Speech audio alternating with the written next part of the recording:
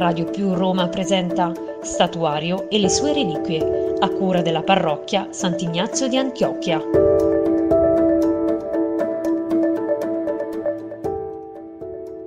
Nel nostro bellissimo quartiere di Statuario troviamo una casa delle suore di Gesù Redentore. L'opera di Gesù Redentore è sorta ad Avranches, in Francia, nel 1865 per opera della madre Maria Giuseppa di Gesù, al secolo Victorine Le Dieu de la Ronde. Victorine nasce ad Avranches, in Francia, il 22 maggio 1809 e discende da nobile famiglia. L'infanzia di Victorine è serena e felice. In lei la bellezza, la poesia e la bontà si fondono profondamente. Suo padre la definisce un bocciolo. La professione del padre, un funzionario amministrativo del demanio, costringe la famiglia a continui spostamenti che hanno il merito di moltiplicare i contatti umani ed allargare gli orizzonti mentali della ragazza.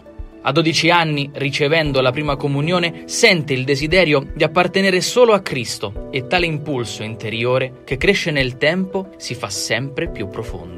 Il suo spirito è costantemente interpellato dalle miserie umane e spirituali e di fronte ad una società materialista, ingiusta, discriminante, le si riavviva il bisogno di spendere la sua vita nel silenzio e nella preghiera.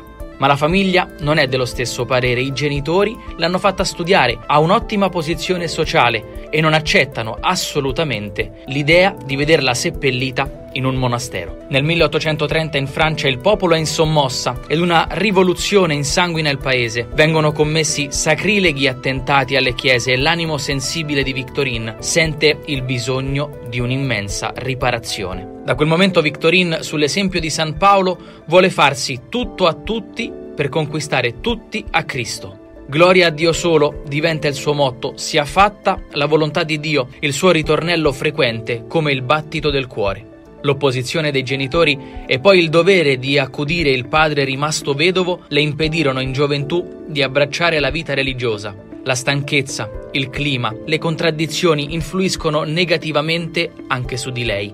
Ridotta in fin di vita, chiede di recarsi in pellegrinaggio al santuario della Madonna della Salette e lungo il tragitto i sintomi del suo male scompaiono. Ai piedi della Vergine in lacrime trova luce e forza. Nostra Signora della Salette la conferma nel suo ideale di riconciliazione. Passando per Ars, incontra il santo curato. Jean-Marie Vianney e Victorine entrano in sintonia spirituale. Il santo la rassicura L'opera sarà benedetta più di quanto si possa immaginare. Il 1860 sarà un anno decisivo per Victorine. Anche il padre raggiunge il cielo ed è libera di consacrarsi totalmente al Signore. Ha 51 anni, non è più giovane, ma conserva l'entusiasmo di quando ne aveva 20, anzi è cresciuto dalla maturità raggiunta.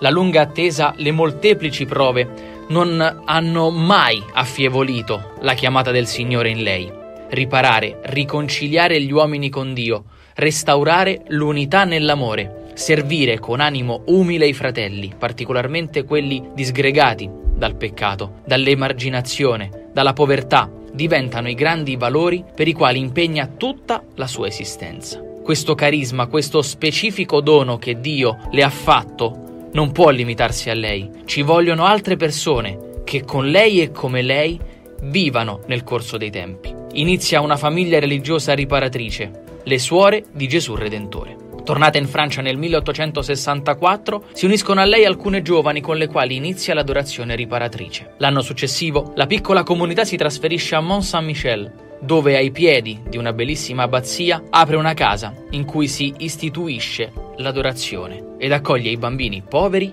e abbandonati. Lì, il 19 marzo 1866, Victorine si consacra pubblicamente a Dio con i voti di castità, povertà e obbedienza, prendendo il nome di Suor Marie-Joseph de Jesus. Ben presto sopraggiungono prove, persecuzioni e tradimenti, ma l'apostola di riconciliazione non si arrende con l'unico desiderio di poter realizzare il grande ideale che porta nel suo cuore. Il 31 maggio del 1881 Victorine lascia la Francia per sempre e si trasferisce a Roma. La sua fede incrollabile vince, i successi si moltiplicano, i bambini vengono accolti nella sua casa e presto si uniscono a questa povera e stanca vecchia, giovani piene di entusiasmo. Ma la sua salute vacilla e il 26 ottobre 1884 Victorine termina la sua vita terrena per intraprendere l'adorazione perpetua in cielo. Sepolta a Roma nel cimitero del Verano, nel 1960 il suo corpo è esumato e traslato nella cappella della casa generalizia delle Suore di Gesù Redentore a Fonte Nuova, Roma. In seguito a numerose guarigioni e grazie attribuite alla sua intercessione, si è iniziata la causa di beatificazione, ottenendo l'8 maggio del 1992 il decreto di validità del processo.